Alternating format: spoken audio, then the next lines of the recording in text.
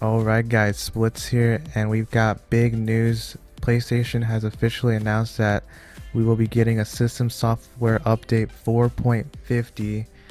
There's a lot of good updates they did on this also. I'm going to share what they what they're actually going to put. So keep in mind it's not fully live yet. It will be um, soon they said, but we're going to see what they're going to add in this new update. So finally guys, they have finally announced external HDD supports. I've always wanted the PS4 to do this. Basically what this is now is that if you have a hard drive and it's a USB, it's like a it's like you can now save storage onto that instead of going to the PS4 internal hard drive.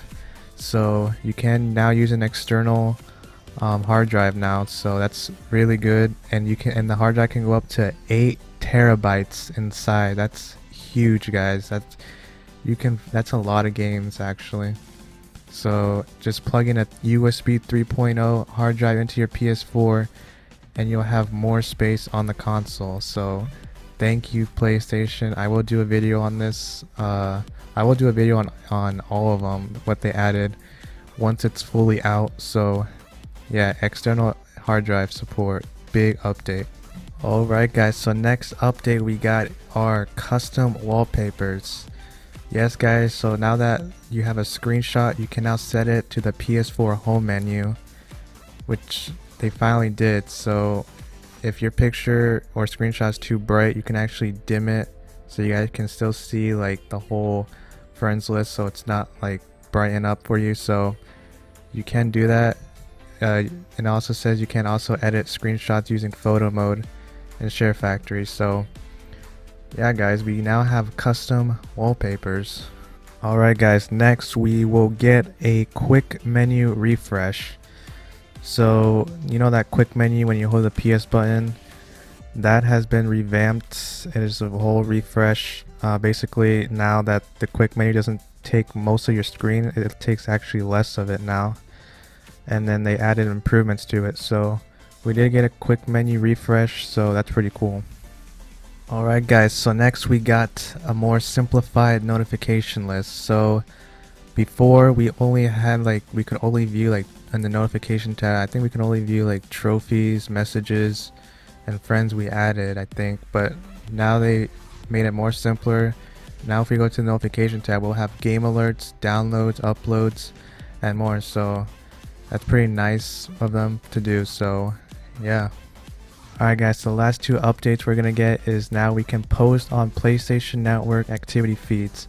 So if you guys know that what's new tab, we can now customize it even more. We can now post things like text, screenshots, and GIFs directly into your activity feed. So I think before we could only see people added, trophies, and stuff like that. So it's gonna act more of like a Twitter thing now which is pretty cool for them. So that's going to be in the next update.